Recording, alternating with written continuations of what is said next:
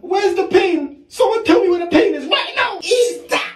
Man, like ibuprofen, you know? You really think that you, you're gonna get me outside of this body? You must have lost your mind, cuz. Look, bro, do you want to do this the easy way or the hard way? I don't want to have to call paracetamol again, you know? Because if I call paracetamol, yeah, then it's going to get long for you, you know? This is what I mean, ibuprofen. You're such a fake driller. Why'd you have to call paracetamol every time? You can't do nothing by yourself.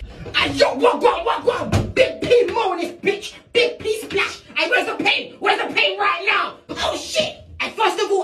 Ibuprofen, what did I tell you about calling me on all the drillings, bro? I sent you on this drilling by yourself. This is your individual ride-out, bro. Why'd you always have to call me to come and back it? I'm sorry, the pain was just too strong. He wasn't trying to go away this time. I needed you.